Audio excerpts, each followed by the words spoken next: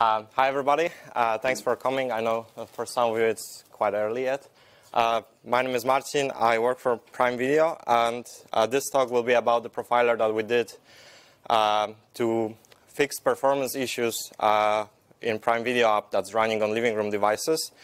And I'm not going to talk a lot about the internals of the profiler. I'll rather focus on how to use it, how you can use it, and adapt to your project. but if you want to know more about internals, uh, I'll be here around till the end of the day, so uh, you can just speak to me uh, anytime you want. So I'll start with explaining why we actually started a new profiler, because as you might know, there's quite a lot of them on the market already, as LTTNG, ftrace, uftrace, strace, perf, and a lot of others. Uh, the thing is that the, the, development environment that we had to work in was quite different than what uh, you might get used to so we've been doing applications on uh, that's running on living room devices such as uh, game consoles, um, smart TVs, streaming sticks. And some of the platforms are very friendly for developers, like game consoles, they are amazing. They provide lots of tools, uh, debugging utilities, and so on. But smart TVs are not that friendly for developers. So very often all we have is compiler, and we can't really deploy, the, uh, deploy any tool to that, uh, to that device. It's very close. So all we can do is basically deploy a single app. That's our, uh, our Prime Video app, and that's it. So we can't, for example, deploy strace or LTTNG. We can't uh, deploy some kernel modules and so on. So it's very, very limited environment. And also, uh, our application, the Prime Video application, is, is built using uh, three different languages. So we have a native layer, which is a C++, and then that native layer uh, exposes uh, two uh, scripted engines, one for Lua and one for JavaScript, and we run them uh, at the same time. So they're basically three different languages. And because those platforms, some of those platforms are very low in, in, terms of the CPU and memory, um, we had quite a few performance issues, especially on the uh, on the cheaper platforms, and we wanted to debug it. But as I said, there was no much tools for uh, for debugging. There were some tools, but they didn't really meet our requirements. So we said, okay, maybe we can just quickly prototype something, uh, and we see if that works. And yeah, as you see, this presentation is about the profiler, so it actually worked. Um, so we come up with, with, a list of features that we want to have from our profiler. Um, this is just a, short list, uh, but there's a, a quite a few more features. I just listed the, the more important. So it's user space and instrumentation based. We basically don't have access to kernel uh, by, by, any means. So user space for us was the only option. Instrumentation based, we can't really deploy a second daemon that, I don't know, for example, checks traces every second or so. So everything had to be built in into the application. Uh, since our application is written in C and JavaScript and, uh, and Lua, we decided that we're going to write it in C++ or C, uh, but it should be available for those languages as well in somehow uh, by providing a bindings layer or so on. Um, also, because we port to different platforms, those platforms are very different to each other. Some of them have different operating systems, different uh, CPUs, even different endians. Uh, so it should be easy to port those, uh, this profiler to all the platforms that we support by Prime Video. Uh, low overhead, I think this is uh, something that all the profilers are trying to achieve. Uh, we wanted to measure timings because that's what usually people think of uh, when they do profiling, how long does it take to execute a function. But apart from that, we also wanted to measure other metrics like memory usage, CPU usage, uh, how many HTTP calls we've done, and so on. Um, and the other thing uh, that we wanted to achieve, we, we had a group of people who were very into performance and were responsible for fixing performance issues, but we wanted also other developers to to use profiling tools on a daily basis. So while they're writing the code, they can focus on performance as well, so we don't have to do the job afterwards. So we wanted to provide uh, consistent user experience across different platforms. So no matter what uh, uh, what application, what device you're developing on, whether this is a streaming stick, web, uh, game console, smart TV, you always have the same tool. So it's easier. They just need to learn one tool and they can use it uh, for all the different projects. So that was a list of features, and uh, we come up with a very simple high-level design. We have a profile device that's running the application. We have a, a Hawk Tracer library attached to that, uh, to that application that generates a, a, binary stream of events. We call it htdump stream. And then we have a client, which is on the developer desktop, that's converting this byte stream to uh, some human readable form, like, uh, for example, Chrome trace format, flame graphs, or you can, uh, as I'll show you later in the demo, you can build your own, uh, you can build your own client very easily to do some other visualizations that our client doesn't provide. Um, this is a bit more uh, detailed diagram. So there's an app. Uh, this app has a Hawk Tracer library linked. And uh, Tracer has a timeline. A timeline is essentially a buffer, uh, and application pushes events to this buffer. This buffer, uh, these events are serialized, and then once the buffer is full, uh, we push it to a listener, and the listener could, is basically a function callback, uh, so that then the listener decides what to do. And we, Hawk Tracer by default provides two listeners. It's either it stores the, the, the stream to a file, or it can send it over TCP IP, but you can extend it. Uh, I don't know, if you want to send the stream over a serial port, for example, you can do that. And then the stream uh, goes to the developer desktop, and again, we provide the library uh, it's written in C++ and has Python bindings that deserializes the stream of events and provides you nice data structures in your language. Uh, so then you can build your client. And we already provide the Hawk, Tracer converter client that converts this uh, binary stream to some common trace formats. Uh, we also have the library that's written in Rust. It's, it's, not really experimental because I know people already use it, and uh, I'm going to use it today during the demo. So if that's going to work, then it won't be experimental anymore. Um, hopefully it will work. Um, so I mentioned here, you see that there's a, there's a timeline. And the timeline is conceptually is a buffer, but it actually is a little bit more. And you need to provide some configuration uh, for that timeline. And so to simplify this process of creating the timeline, we, uh, Hawk Tracer provides a global timeline, which is quite efficient. It's kind of multiple timelines, actually. It's timeline per thread. So if you push uh, events to, to the timeline, we don't require any locks because it's, uh, you have an instance per thread, so there's no problem with data races and so on. Um, and you can easily access it by just calling htglobal timeline get function. Uh, I recommend just using that. To be honest, I don't think in my real projects I ever use different approach, so uh, it's probably good enough. Uh, so I mentioned that uh, the basic data unit uh, in Hawk Tracer is an event. Uh, so you can either, we have quite a few events defined in Hawk Tracer, event types, but you can define your own. Uh, it's basically a C structure. You, defi you define it using a, a C macro, uh, and you provide the, the, event class name, uh, which could be my event, for example. It supports inheritance, so all the events must eventually inherit from HT event, which is a very base class, and then you provide a set of set of fields that you want to have in this event, and you define it by three properties as a, as a type, as either integer, string, struct, float, double, um, or pointer, I think. Um, then you provide the actual C type of that and, and the name. And that converts to the, to the C structure uh, and additionally, it generates automatically a few helper methods, like, for example, a method for serializing the event. So when you have this event and you want to push it to, uh, to the byte stream, this macro already will generate uh, a function that does it for you. And then when you already have the event, uh, if you want to push uh, the instance of this event type to the timeline, you just call httimeline push event macro, uh, you pass the timeline as the first parameter. The, the second parameter is the name of your function uh, of your uh, event type, and then all the all the values, all the fields, and that's that's pretty much it.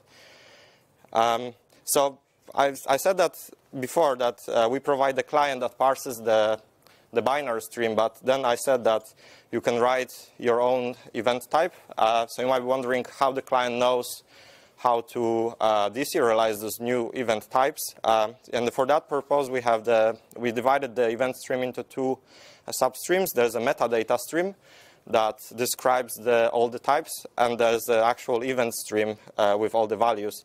And since everything in Hawk Tracer is uh, an event, even the definition of the event is uh, event as well. So we have special events that describe your type, and the first event is just describing the name and, uh, and the number of fields that you have.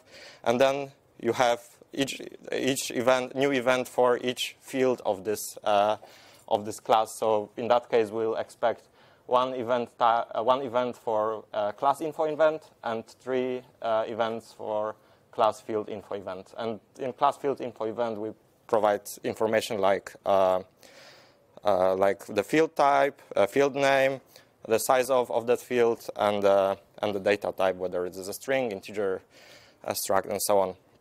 And this, they both, the, both streams are serialized as a byte stream. So you can see that basically it's just like 30 or 40, uh, 40 bytes for, uh, for those events. And then eventually you have the actual event, and this event has a type. So it's number 9. As you can see, the, the class ID is 9 here, and the info class ID 9 again. So all of them are kind of connected to each other by this, uh, by this identifier. And uh, it's important that you first need to send the the definition of the event type before you actually send the first event of this type, because otherwise the parser doesn't know how to how to parse this event, and yeah. Uh, but the Hawk Tracer does everything for you, so it's just. Uh, Can I ask a question? Yeah, go ahead. If, if the parser loses sync with, with stream, is, is there a way for it to regain sync later? So no, at the moment it's not possible. Uh, I'm working on improvement that it will be actually possible, but at the moment, if you lose the metadata stream, yeah, there's a problem.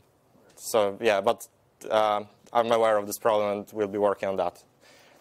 Um, okay, uh, so I mentioned that we also want to measure time, and that was actually quite important requirement for us. So to make it even easier, uh, we've we, we have predefined event types that um, that are already for measuring time. They take a label, and they, they take the duration and the timestamp. And uh, we have a macros that automatically generate those events and push them uh, to the timeline. And so for C++, uh, depending on what you want to do, if you just trace the whole function, you just put the, this macro uh, httrace function at the beginning. Uh, and if you just want to trace the random scope, there's httrace. There is a few more macros that are more optimized uh, for that. They, for example, they have some hash maps, so you don't have to send the, uh, the, the, string every time for every event. It's even more optimized version that uses uh, some tricks with static thread local uh, objects. So even even hash map is not necessary for some of them. Uh, it's documented, so I don't want to uh, spend much time on that. And um, we did bindings for a few languages. For now, the public one is Python and Rust. Uh, we have one for JavaScript as well. It's not ready yet to be published, but we'll do that in the future. And for Lua as well. Um, so this is how you do that in Python. You import the trace decorator, and you just put it for the function that you want to trace.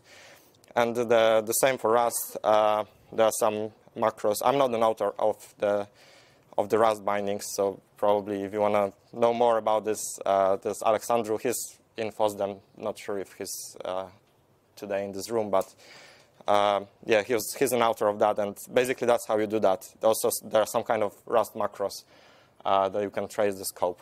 Um, okay, so that was it. And uh, I just want to show you some, some demos so you can see how you can use it. Um, the first one is we have a C++ application that allocates the memory, and then we want to we want to see on the graph how the memory grows. We also want to know how many allocations we've done in this program. Uh, so we'll write a simple Python client that receives the Hawk Tracer event stream and uh, does the visualization. And I start with the, with the program itself. Uh, so at the very beginning, we need to initialize the Hawk Tracer library. And then, um, so this is the event that we event type that we define. As I said, there's a name, uh, the base type, and we have two fields, memory usage and allocation count. They both are integers, uh, size t uh, type. Um, and the event, uh, before you want to use it, you need to register it. This method is auto-generated by, uh, by the macro that I showed before, by this macro, htdeclare event type. Um, you just need to call it before you use it. Uh, it registers uh, some information in Hawk Tracer system. And then you create a listener to the timeline. Uh, I said the global timeline is the best option. So we're using global timeline here. There are some parameters like port, uh, this is the buffer size. We set it to zero, so we'll get, we don't actually buffer anything. We stream it directly uh, to the client, and we say that we want to use it, uh, we want to use TCP uh, client so we can stream it directly to the client and we can get the real data. Um, HawkTracer already provides uh, functions to get uh, the memory usage. It also provides some functions to trace the allocation.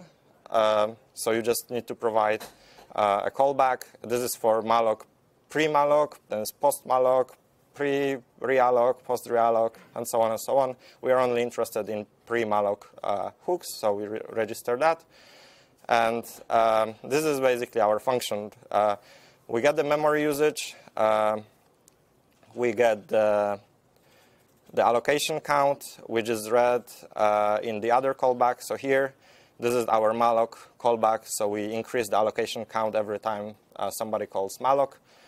Uh, so we get that all in the context object. Uh, and that's, that's basically what we do. We push the event. So this is our type. Those are our values. And this is the yeah this is the memory usage, virtual memory usage, and this is the allocation count. And this is the client. It's written in Python. Um, all we need to do, we need to start the client, uh, the HawkTracer client. We say, okay, uh, listen to 8765 port, uh, on this IP address. Um, this is the animate method. That's basically the anim that does the drawing the graph. But the most interesting bit is this one. So this is basically how we read events from HawkTracer. Um, this is our client, so we're waiting uh, for end of stream. If it's not, then we pull an event. If there is an event in the queue, uh, we check the, the, the first, this is a tuple, and the first element of the tuple is the event name, so we check if this is the event that we want. And if so, uh, we get the timestamp, we get the allocation count, and we get the memory usage. And then we put the memory usage on the graph, and we print the allocation count. Um, so it's very, very simple. Uh, let's run it. Um, so we run the client, and now we run uh, the program that we want to trace. So you can see that uh, the memory usage is growing, and you can also see the allocation count is, is going up. And so you might be wondering why the memory usage is growing. If we go back to our application, we see that we have a loop, and we do malloc. Uh, so, and it's called um, 100,000 times. So we can see how many mallocs we actually got, it's more than 100,000. There's probably some other allocations going on.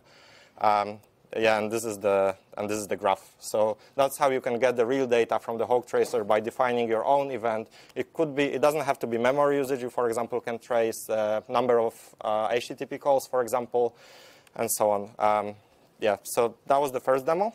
And the second one is going to be more complex a little. I want to show you how you can trace um, multiple languages at the same time because that was our actually our real use case. We had application written in C++ and then we run Lua and JavaScript on top of that. Uh, so I do slightly different example. I have uh, a main application written in Rust. Uh, this application downloads the image using uh, a downloader library that's written in C. Uh, it uses curl. Uh, and then I rotate this image uh, using uh, some image, uh, I think it's OpenCV, maybe not OpenCV, I actually changed it. But yeah, it rotates the image in Python, so I run Python uh, interpreter in Rust. Uh, and then at the same time, while I'm rotating the image, I also upload the image that I downloaded in the first step to, to the S3 bucket. And I want to know how much time I spend in each particular um, uh, in each particular operation. So I, again, start with the code. So this is our Rust client. Uh, even though you're not, you might not be familiar with Rust, I think it's pretty, pretty simple. Um, so we start with download file. This is download file rs.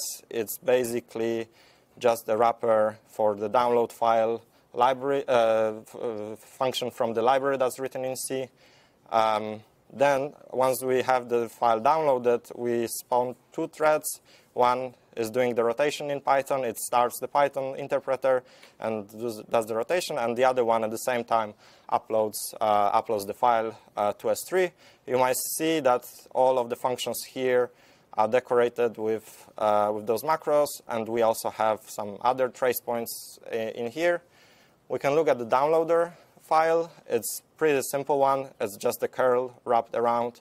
Um, we trace the function here at the beginning, and we also uh, see how long does it take to, to call curl easy perform. So we trace the whole scope here. And just last bit is the Python one.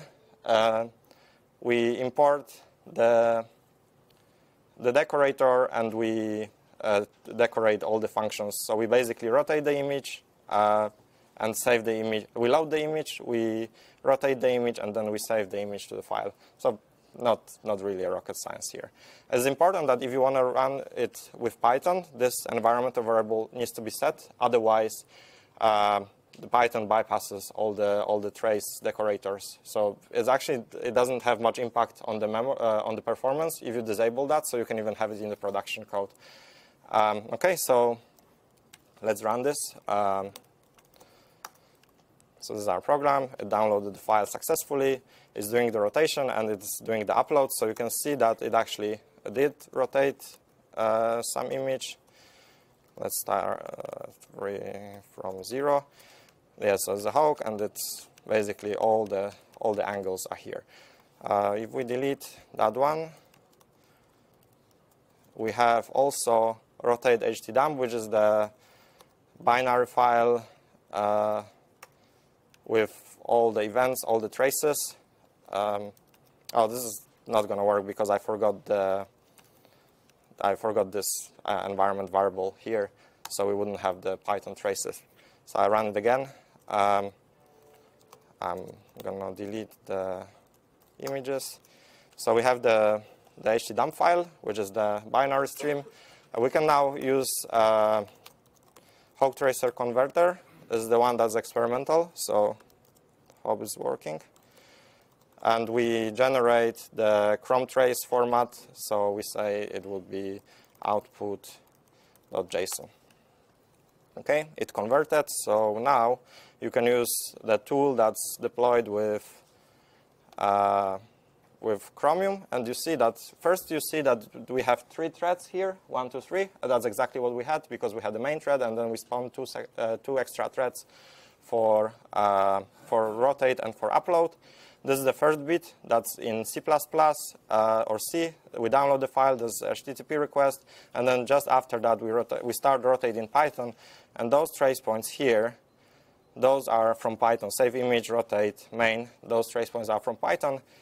And this one, uh, upload to S3, is in Rust. Um, so as you can see, you can trace, uh, you can have uh, everything in one trace file, uh, and you can easily analyze what's going on in the program. You can also uh, convert it to uh, flame graphs.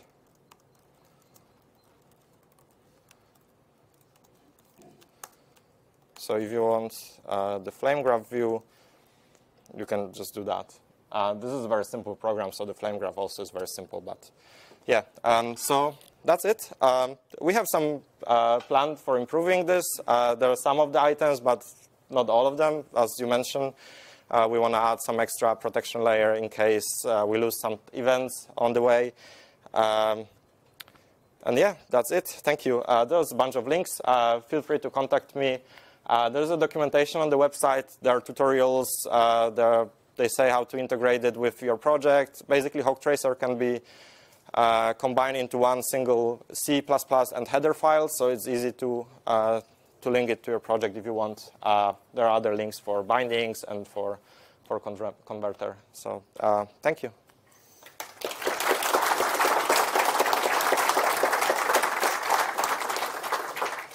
I think we'll have one minute for questions, but if that's not enough, then I'll be around.